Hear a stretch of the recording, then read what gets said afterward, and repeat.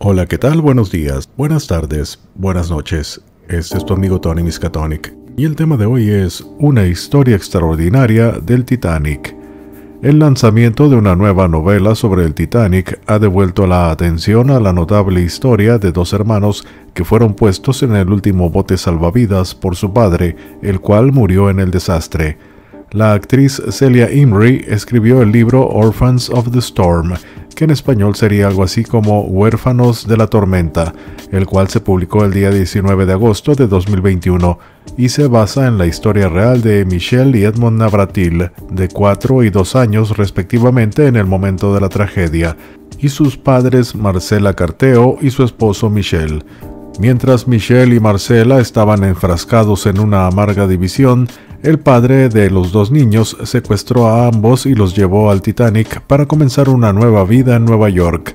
Sin embargo, cuando el barco se hundía, el padre arrojó a Michelle y Edmond al último bote salvavidas y solo unas semanas más tarde se localizó a su madre, Marcela.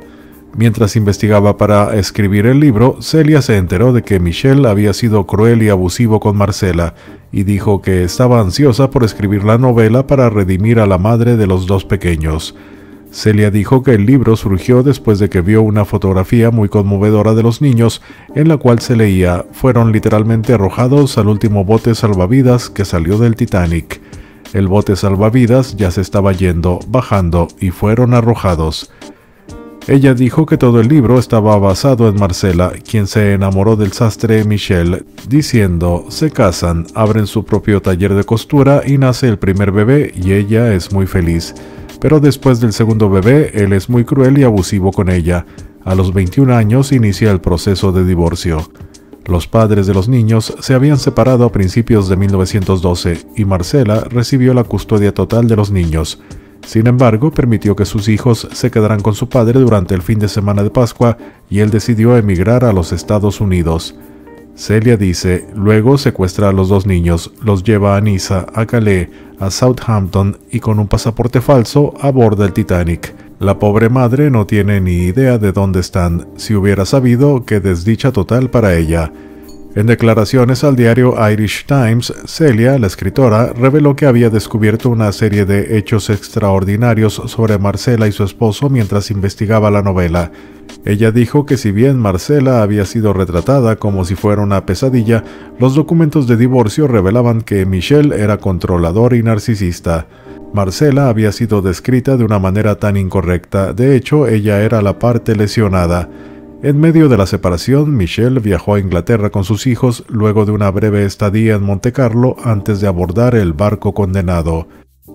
En su vida posterior, ya como adulto, Michelle Jr. recordó Titanic como un barco magnífico. A través de una traductora dijo, recuerdo haber mirado a lo largo del casco. El barco se veía espléndido. Mi hermano y yo jugábamos en la cubierta delantera y estábamos encantados de estar allí. Una mañana mi padre, mi hermano y yo estábamos comiendo huevos en el comedor de segunda clase. El mar era impresionante, mi sentimiento era de total y absoluto bienestar. No recuerdo haber tenido miedo, recuerdo el placer, de verdad, de hacer plop en el bote de salvavidas. Terminamos junto a la hija de un banquero estadounidense que logró salvar a su perro. Nadie se opuso. Había grandes diferencias en la riqueza de las personas en el barco y más tarde me di cuenta de que si no hubiéramos estado en segunda clase habríamos muerto. Las personas que salieron con vida a menudo engañaban y eran agresivas. Los honestos no tenían ninguna posibilidad.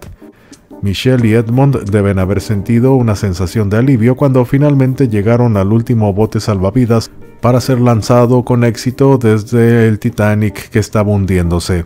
A pesar de su tierna edad, los hermanos, de tan solo cuatro y dos años, habrían sido conscientes del terror y la histeria que se había apoderado de los que aún estaban atrapados en la embarcación siniestrada. Su padre los colocó en el bote salvavidas, pero fue la última vez que lo vieron. Después de colocarlos en el bote salvavidas, su padre murió durante el hundimiento. Él se encontraba entre los 700 pasajeros recogidos por el barco Carpatia. Los niños se hicieron conocidos como Luis y Lola, los únicos niños que fueron rescatados del Titanic sin un padre o tutor. Según el sitio web Retronaut, Michelle Jr. luego afirmó recordar que su padre le dijo, Hijo mío, cuando tu madre venga a buscarte, como seguramente lo hará, dile que la amaba mucho y que todavía la amo. Dile que esperaba que nos siguiera para que todos pudiéramos vivir felices juntos en la paz y la libertad del nuevo mundo. Los niños, que eran franceses, no hablaban inglés y no pudieron identificarse con los rescatistas. Como resultado, una pasajera de habla francesa llamada Margaret Hayes cuidó a los hermanos hasta que se localizó a su madre. Varios artículos de periódicos sobre los niños, que incluyeron la publicación de sus fotografías, finalmente llevaron a que se rastreara a su madre Marcela. Ella navegó a la ciudad de Nueva York y finalmente se reunió con sus hijos el 16 de mayo de 1912, un mes y un día después de que salieron vivos del Titanic. Uno solo puede imaginar las emociones que su madre debió haber sentido cuando vio a sus hijos, particularmente porque su padre había abordado encubiertamente el Titanic con los niños para que los tres pudieran comenzar una nueva vida en Estados Unidos sin Marcela. Inmortalizado en películas y exhibiciones en todo el mundo, el barco es sin duda uno de los más famosos de la historia.